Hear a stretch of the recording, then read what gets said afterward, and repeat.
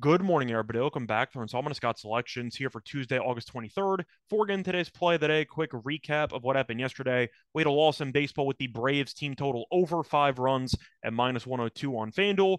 Really wasn't close. Atlanta was very good offensively entering the game.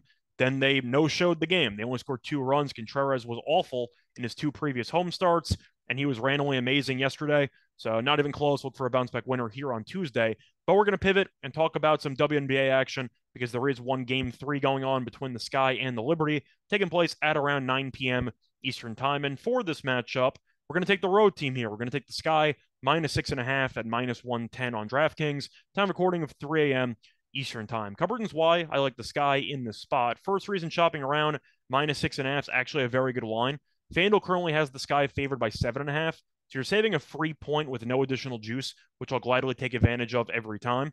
But the, so far, the series has been really a tale of two games. The Liberty, of course, ended up winning game one on the road, 98 to 91, as they went on a massive run to end the game. I believe it was a 13 nothing run in order to steal one on the road. Then game two came around, and Chicago absolutely destroyed them. Chicago won game two by a WNBA playoff record 38 points. And the real story of game two was the Sky's defense, which only allowed 62 points. And I do think that's going to be the story in game three. Now, to go through the actual defense for game two, the Sky allowed less than 19 points in each quarter. And the main reason why was the use of full court pressure and general on ball pressure. It seemed like in game one, the Sky let the Liberty get into their actions pretty quickly. And as a result, the Liberty scored 98 points. Game two came around and Chicago blitzed absolutely everybody. They double teamed Ionescu pretty much every time she had the ball, but they forced 19 turnovers, forcing the Liberty into a lot of really difficult spots with the full court press. And even when the Liberty broke it, it took them so much time to actually beat the full court press that they got into their actions very late and as a result had a lot of really bad uh, possessions throughout this game. But the main takeaway offensively for the Sky uh, in the series, on the on the other hand, is the fact that the Liberty defense really has had no answers.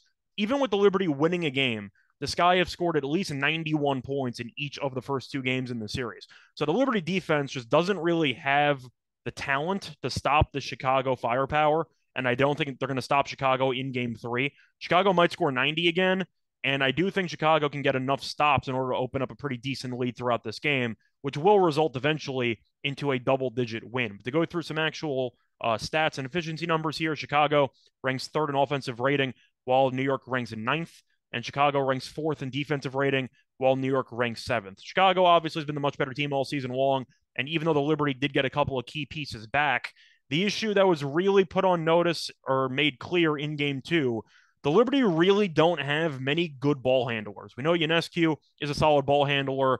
Besides that, they really don't have anybody else. Dangerfield can dribble somewhat, but she's extremely undersized, so the Liberty have not really been able to use her throughout the series. Laney's an okay dribbler, not great, and that's basically it, which is why the full court press was so effective. And I really don't know what counters the Liberty are supposed to have besides putting another guard on the court, maybe letting Johannes play a bit more. But the point is, I do think there's a serious flaw with New York's actual offense, particularly the backcourt. And the Skies seem to have found the perfect defense for it.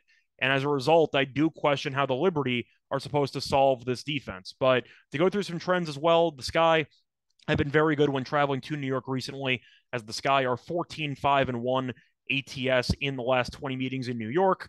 So you have the defending champions who seem to have completely solved the Liberty puzzle. Offensively, they've been doing whatever they wanted all series long, and the Liberty seem to have run into a defense that has really found the perfect antidote uh, to their offensive firepower. And as a result, I think the Sky win this game pretty handily. Now, I do have a ticket on the Liberty to win the title.